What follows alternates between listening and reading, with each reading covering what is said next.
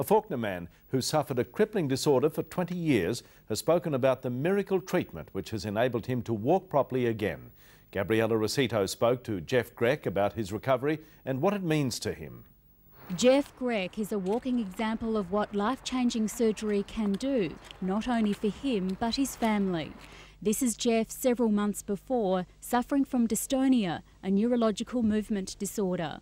It's been ruinous to his occupational life. He hasn't been able to work uh, uh, for many years because of this uh, uh condition. He's uh, bent uh, almost at right angles at the waist with curvature of his spine and neck.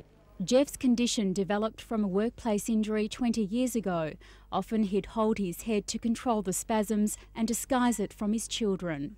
Couldn't play cricket, couldn't run around with them couldn't do anything like a normal father could, and that hurt every day. Never seen him walk my entire life. But that's until Geoff decided to have surgery several months ago.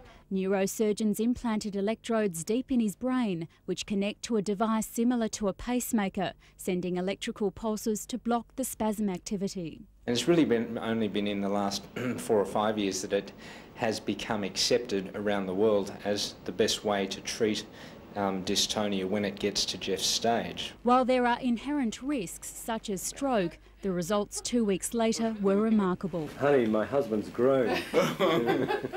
yes, it was a small miracle. Um, for it to happen so quickly, yeah. He's a new man, you know, it's changed our lives. Despite its success, the operation is an expensive one. The device alone costs about $30,000 and many patients, including those with Parkinson's disease, are unable to afford the treatment. So I hope that um, it persuades um, all the authorities to give funding. I never knew it could happen. I was like wondering in my sleep that would my dad ever stay up straight. So excited. Oh, I just went up to him and hugged him and kissed him. Gabriella Rosito, National 9 News.